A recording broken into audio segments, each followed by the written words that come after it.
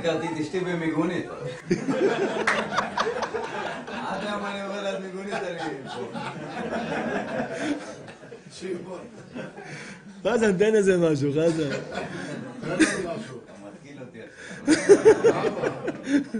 אמר לי, הכרתי את אשתי משדרות, אני מצפת, תראה לאיפה הגעתי, רבנו, יאללה. אתה מדבר על ההבדלים של ה...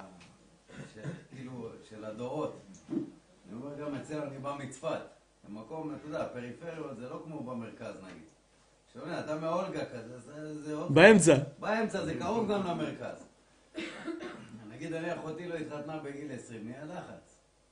אבא שלי, יודע, גיל 20, אחותי לא התחתנה, אמא שלי על קברי צדיקים, אבא שלי הביא רבנים עם גיבור, מה, נהיה לחץ, אבא שלי כבר איבד את זה, כבר התחיל להזיע בבית.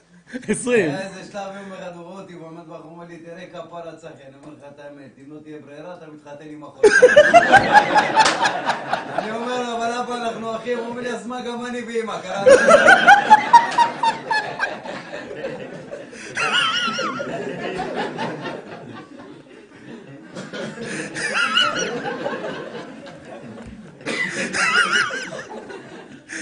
יאללה, אתה גמור. יאללה, אתה גמור. הרגת אותי.